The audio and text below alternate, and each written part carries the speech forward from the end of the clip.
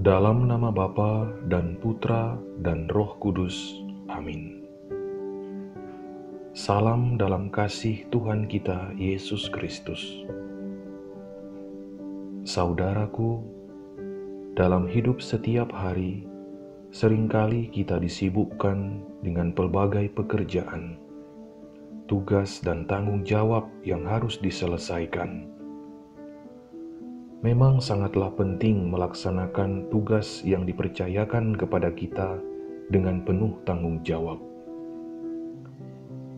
Tetapi dalam Markus pasal 6 ayat 31a, Tuhan Yesus memberi teladan dan serentak mengajak kita untuk istirahat sejenak dari segala pekerjaan atau aktivitas kita Yesus berkata kepada mereka, "Marilah ke tempat yang sunyi, supaya kita sendirian, dan beristirahatlah seketika." Dalam hal ini, istirahat bukan hanya dalam arti tidur atau tidak berbuat apa-apa, melainkan dalam arti hening sejenak, bermenung atau berefleksi dan berdoa. Dengan kata lain, kita diajak untuk mengendapkan semua yang telah kita kerjakan, dan dengan demikian kita akan dapat melihat makna di balik semua yang kita lakukan itu.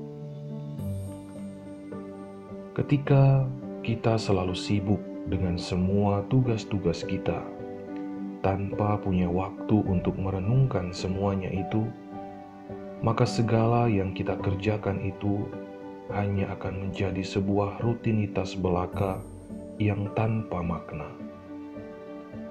Kita akan selalu merasa kurang dan tidak pernah puas. Dan lebih parah lagi, kita tidak akan dapat melihat arah tujuan hidup kita yang sebenarnya.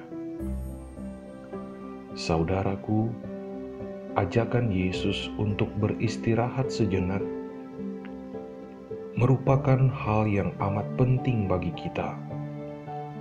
Tujuannya jelas, yakni agar kita dapat memaknai apa yang kita lakukan, sehingga kita dapat melihat arah tujuan hidup kita secara jelas. Kita pun akan dapat dengan tenang mengambil keputusan untuk menyelesaikan segala persoalan atau pergumulan hidup kita. Namun, terlebih lagi, agar kita dapat melihat segala kebaikan Tuhan yang telah dikerjakannya dalam hidup kita. Untuk itu, marilah kita hening dan menyepi sejenak, dan ungkapkanlah syukur kepada Tuhan dalam doa-doamu. Semoga damai dan kasih Tuhan kita Yesus Kristus selalu menyertai kita sekalian. Dalam nama Bapa dan Putra dan Roh Kudus. Amin.